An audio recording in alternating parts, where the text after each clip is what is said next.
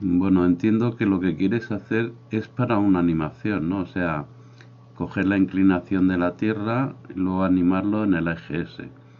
Eh, a ver, primero que dependería mucho del tipo de desplegado que tengas. Si por lo que veo tú tienes una esfera, yo lo he hecho a raíz de un cubo. Eh, luego le he cortado, pero he desplegado el V en, en esfera. Pero aún así, esto eh, para lo que buscas no creo que te funcione porque en el shader editor aunque le pongas a ver la coordenada la única coordenada que creo que se puede mover sería esta. Me pasa ahora. Pero no te serviría de nada porque solo va en una dirección. Ten en cuenta que estos serían solo dos coordenadas y si intentaras hacer otra lo que pasaría es que o se deformaría ¿Vale? O sea, no, no, no creo que te funcione. Este no funciona, o sí funciona. Pero es, si dijésemos al, al girarlo, como el mapa está preparado de una forma que sea para hacerlo, dijésemos, en completamente plano. Vale, entonces, como entiendo que tú lo que quieres a lo mejor es animar este objeto como con la inclinación que tiene, te voy a hacer una demostración rápida de, mm, cómo lo haría yo. Eh, timeline. Aquí, por ejemplo, le he puesto 700 frames. Vamos a hacer un giro total en el eje este, o sea, porque se supone que gira de aquí, ¿no? Entonces, em, si me equivoco, igual, igual no es así, pero bueno.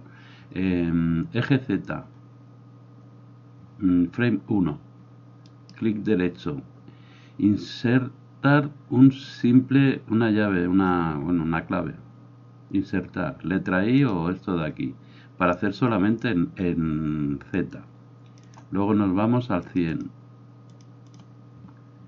Movemos, ten en cuenta que estamos en, X, Y y Z, ¿eh?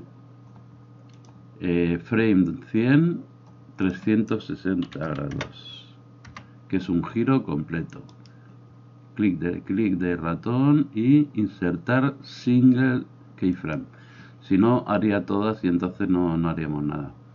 Vale, entonces, ¿qué tenemos aquí? Ya tenemos una animación que va del 0 al 100, da una vuelta completa.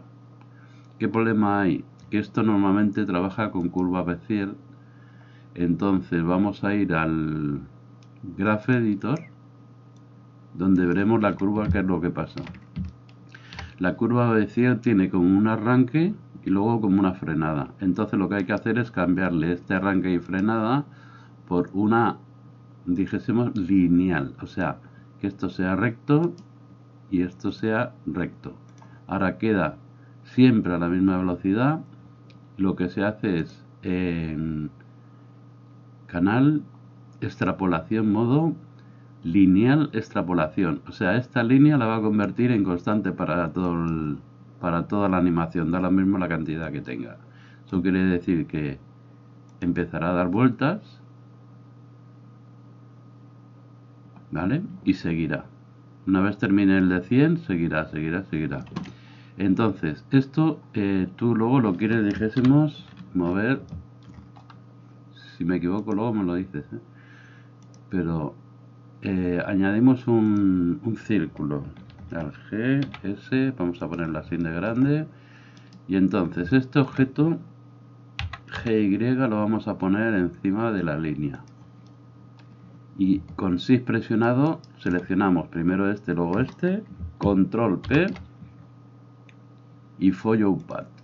El follow path es que siga el camino ¿vale? entonces lo que tenemos es cuando empiece la animación esto seguirá dando las vale ¿qué más hay que hacer?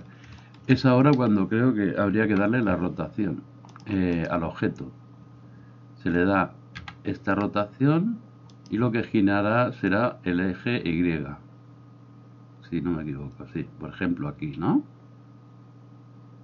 vamos a ponerle que no recuerdo ahora cuándo es la inclinación de la Tierra. Eh, clic derecho insert single keyframe. Este no hay que tocarlo ya porque todo el rato estará haciendo lo mismo. Entonces, quiere decir que esto irá...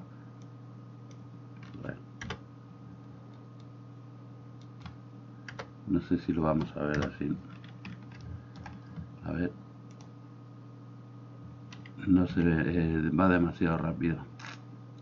Ah, bueno, claro, también hay que decirle en la curva yo he puesto 700 para representar como 7 días. O sea, esto hay que ir a la curva, al...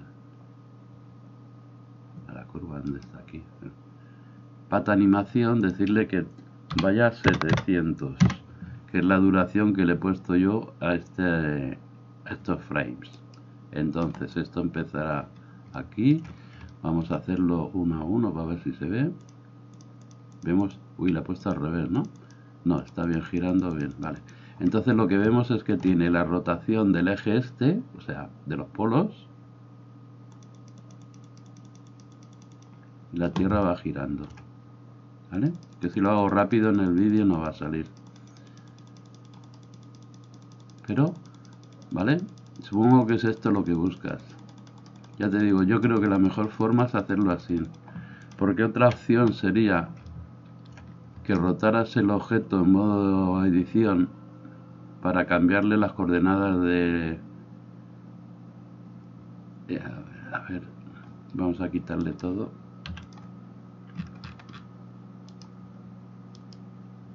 Clear Plan, vale.